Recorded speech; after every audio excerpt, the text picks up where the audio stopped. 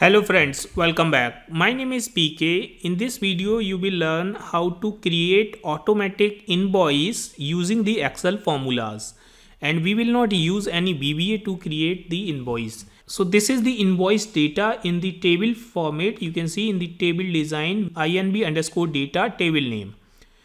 In this data, we have the invoice number, invoice date, the customer name, customer address, customer city, customer pin code number, then the customer GSTIN number, or you can take some other customer identification number. Then here we have the item name. Basically, it is a product name. You can put your actual product name in place of simple item 8, item 4. Then here we have the unit price, the quantity, then this is the subtotal. And we have the discount percentage, then we have the discount, then we have the tax percentage then this is tax amount. In the last we have the total amount okay? Under one invoice number we can have the multiple items. Let me show you. Let's say this invoice number we have here six items okay? So this invoice date customer information will remain same. Only this information will be changed because it is itemized information. All right. Now i will show you the invoice template which i have created this is the invoice template. Here you have to put your company information and then this is the customer information okay?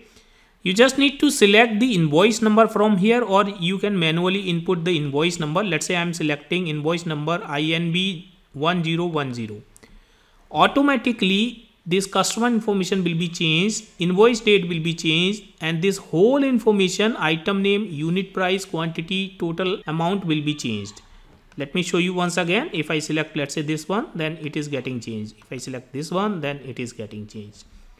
At bottom we have the subtotal which is the sum of this total amount. Then we have the total discount in this invoice number and then the total tax in this invoice number. And this is the total the final amount which has to be paid. In the last we have the thank you note this is printable invoice. If I press Ctrl P, then here you can see it is coming on single page. So you can simply take the printout. Now let's go to the data and I will show you from the scratch how we can create this invoice template in Microsoft Excel. Select this data, press Ctrl C to copy this and press Ctrl N to open a new workbook and paste that here. So this is the table again here you can see INV underscore data. So we can rename this sheet as invoice data. Let us create the invoice template here. Alright, so let's go to the page layout first and we will select the portrait view which is also there and the margin you can take normal because we have the sufficient space and now we can choose these four columns and the two rows select this and use merge and center here you can put tax invoice or invoice. The header basically. Align this center. Make it slightly bigger. And let's take some background. I'm taking this dark green and font i'm taking white. Select this increase the size.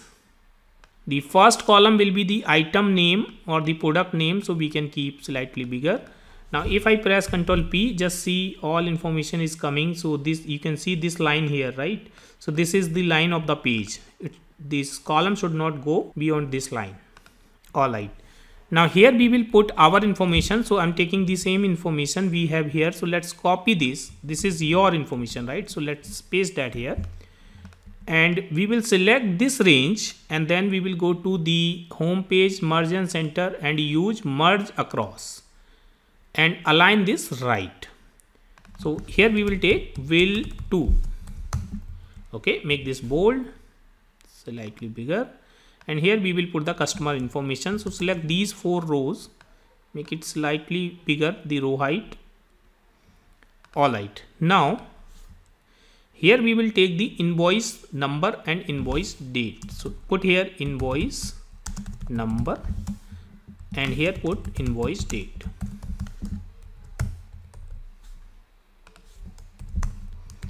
select this range make this bold slightly bigger around 11 all right. Now we will select this cell then we will fill here some dark color let's say this one. Make the font white and use the format painter just click here. Then now select these two cell press ctrl 1 go to the border thick border and choose this color outline inside click on ok all right so here we will input the invoice number and here we will input the date. Now here we will take the item name then here we will take the unit price and quantity total amount. All right now select some range let's say till here so that you can take 10 15 items in the invoice. Align this center center reduce the font size press ctrl 1 take this border. Let's take some lighter color. Let's say i'm taking this color or this color for the border. All right. Now select this range. Background color let's say take this one font color white. Make this bold slightly bigger. At bottom we will put subtotal. Then we will put discount and tax and this is total amount. All right now let's delete this record. Actually we will take the subtotal here. So subtotal will be sum of this range. Just enter. All right let's go to the view and remove the grid lines from here. Now in this area wherein we will put the itemized information we will highlight the alternative rows. So select this range press alt od to use the conditional formatting rule manager. Click on new rule and then go to the use a formula to determine which cell to format. And here you can put the formula is even or is odd whatever you want. So i'm putting here let's say is even. And then i'm putting here row. And just close the parenthesis and close this. Go to the format fill and let's choose this color then go to the more colors. We will make it slightly more lighter. Let's choose this color okay? Click on ok. Okay okay apply and okay so we can see our alternative row is highlighted. All right now select this subtotal row and press ctrl 1 and we will select this border double line and click here. Take this color okay click on ok.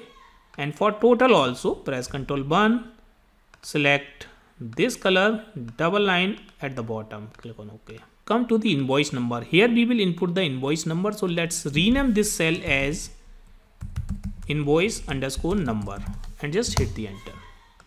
All right. Now we will create the unique list of the invoice number first. Let's say on column i i'm just using the unique function and use here inv underscore data and we will take the invoice number column. Close the bracket hit the enter. So we are getting here unique invoice numbers. Now come to this cell which is b10 to create a drop down for the invoice number press alt dl to open the data validation window and here select the list. In the source just click on i1 and put hash. Click on ok now we can see a drop down list for the invoice numbers. So select any one from here. Now we will create a named range for this cell. So here we can put invoice underscore number and just hit the enter. All right. Now we will put the formulas to get all relevant information when we will select or change the invoice number so first we will get the customer related information. We can use here XLOOKUP or VLOOKUP function. So I'm using XLOOKUP.